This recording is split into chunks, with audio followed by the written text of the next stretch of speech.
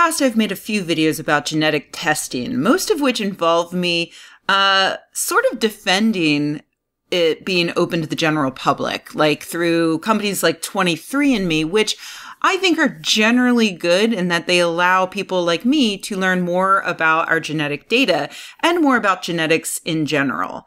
Uh, but we need to be really careful in a number of respects. Number one, we have to be careful about what these companies are doing with our data, uh, especially here in the United States, where we have both a truly predatory pharmaceutical industry combined with, not surprisingly, a privatized healthcare system, which, uh, in which companies are just begging for reasons to deny people coverage, like pre-existing conditions.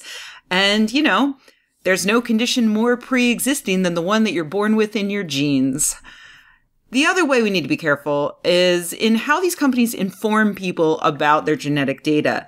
Because uh, this stuff can be really confusing. Statistics can be so tricky, and it can be hard for people to understand how their genes might increase their relative and absolute risk of getting certain diseases. Like, what does it mean for you exactly if you have a gene that, say, raises your risk of contracting Alzheimer's by 50%?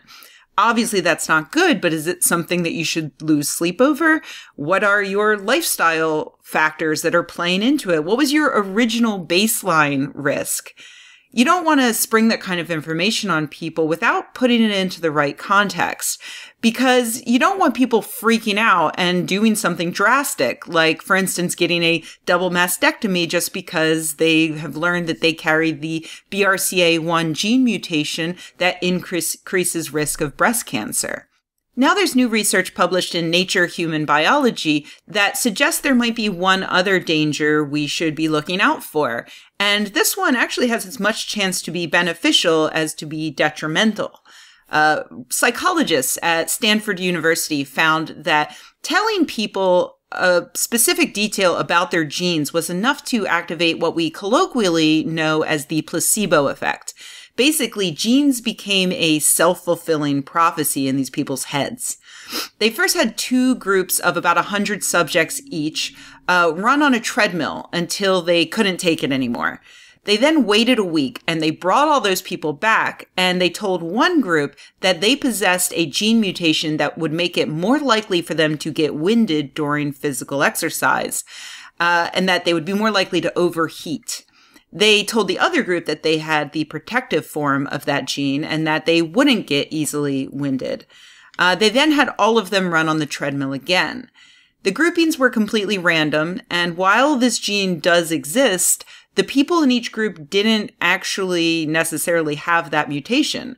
Uh, despite that, the group that was told that they would be more likely to be winded, they couldn't run nearly as long as the people in the other group just telling them that their genes uh, made them likely to get winded got them winded.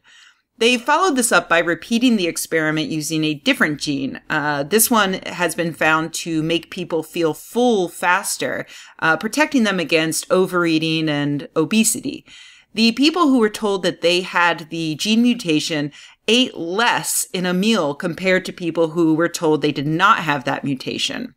It's a pretty impressive effect, uh, considering that it didn't even require giving anyone a sugar pill, just talking to them about their genetics.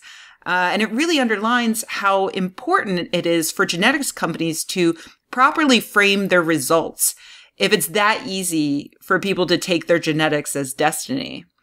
Just so it's clear, this isn't a finding that shows that, for instance, learning you have genes associated with cancer makes you uh, more likely to get cancer just through the placebo effect alone. But the researchers point out that if it's a gene for, say, lung cancer uh, that comes along with a reduced respiration ability, then yeah, you might find it hard to catch your breath once you know you have it.